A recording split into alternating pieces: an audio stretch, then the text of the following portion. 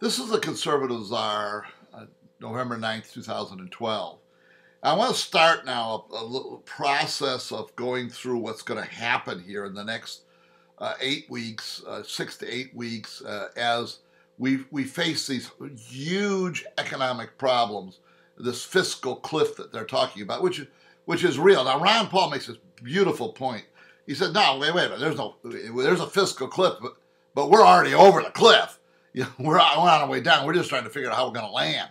Uh, Paul is. Uh, I've, I've gained. I've, I've, I've gained more respect for Ron Paul as I've opposed him and I've been wrong, and as he is, you know, his wisdom uh, comes through more and more, and how much he was right, I was wrong, and and uh, the whole country, except for the followers of him, were wrong.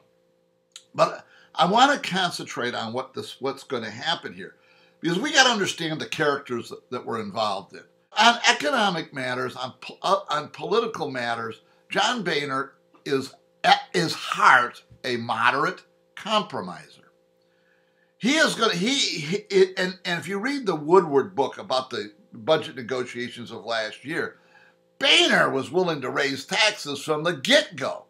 Uh, this is in his nature. He wanted to cut a deal. It was the president of the United States that wouldn't cut the deal. Boehner would have cut all sorts of deals. Boehner, if he if he was by himself, and I add Eric Cantor to this, where they're both moderate Republicans. Uh, they they both are compromisers, uh, and they will compromise, and they will raise taxes. If they had their own way, they would do it. If they had their own way, they would have done it last year. The nature of Boehner compromising, we are going to have tax increases. Uh, there, there's no question. Now, Boehner, God, these people are, they're just beautiful people. Uh, of course, Boehner, uh, we're not going to have tax increases. He keeps saying, I'm not going to have tax increases. I'm, I won't have tax. We'll have revenue increases. We will, we will change the tax code. And oh, oh you know, by chance, taxes will go up but I'm not going to raise taxes. Uh, and we're going to raise taxes. They're going to violate their oath. They all signed the oath not to raise taxes. They're going to violate it. They're, they're, they're, uh, they're going to lie to us about what happens.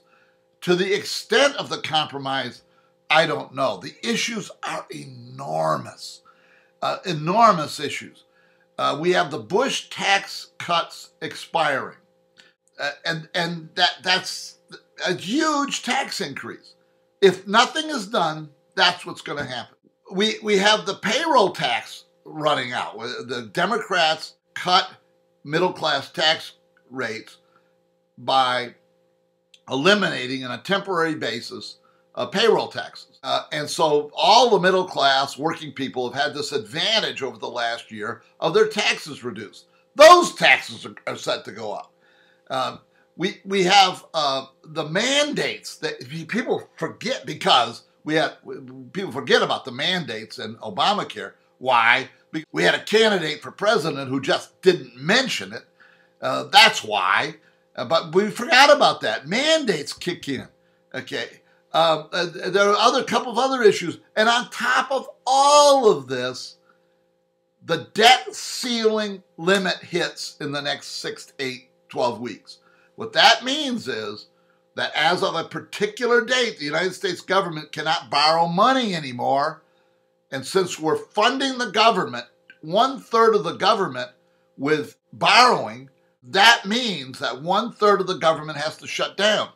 Now, what can be done about it?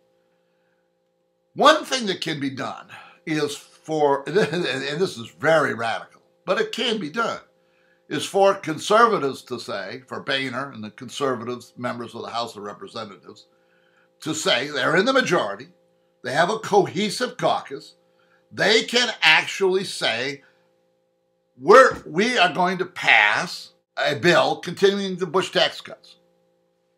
We're, that's what we're going to do. You're, you're going to veto it, the Senate's not going to pass it, but we're going to. What happens if we didn't do anything? Let's take a look at it.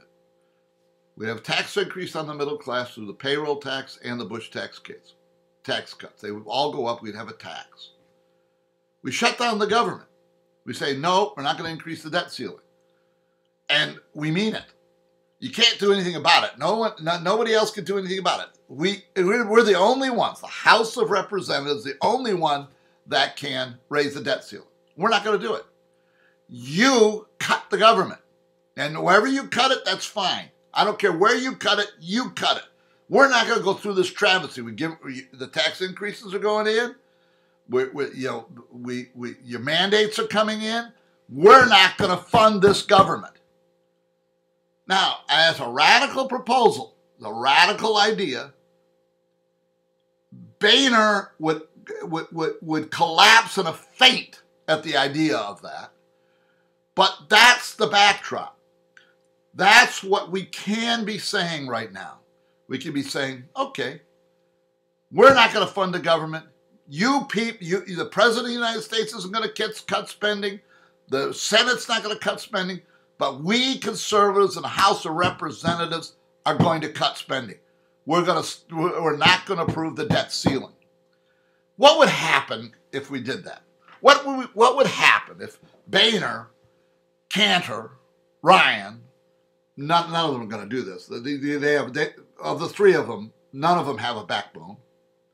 But if they did do that, if they did that instead of on day one after the election saying, "Well, we'll consider tax increases," now Boehner's back, backtracked on that, but he meant what he said. What would happen if we took the opposite tact? I'll tell you what would happen: panic. We would they would be attacked from everybody. Everybody would say the world is going to end. The stock market would decline. The Europe would be it would be it would be a wonderful catastrophe. But I'll tell what's the second thing that's going to happen? Well, first of all, the second thing is you got to convince the president and the Senate that you're serious. So you're gonna you're gonna have to say it and live with it for a while. So the second thing that has to happen is you have to convince them that this is not a bluff. And what would they do? Now, they, the furor would be tremendous. There'd be threatening, there'd be recalls, impeachment. But none of that could come into play before we shut down the government. And uh, I should say, shut down a third of the government. Okay? I'll tell you one place it would save, by the way, it will save us losing any more lives in Afghanistan. If we pulled out of Afghanistan now and not wait till this artificial deadline, that, that's another story. But but what would happen if Boehner, Cantor, and Ryan did it? Their sacred cow, the federal government, is about to be stripped of its power and money. Who do you think would cave? Who do you think would cave? The president would cave. The Senate would cave. And we would have a compromise on our terms. It would take courage, guts, and none of these guys have it. Uh, what I've described here is a fantasy. But this, and we're going to have a lot of discussion about these next six to eight weeks because, boy, are they big. This is the conservative czar. See you next time.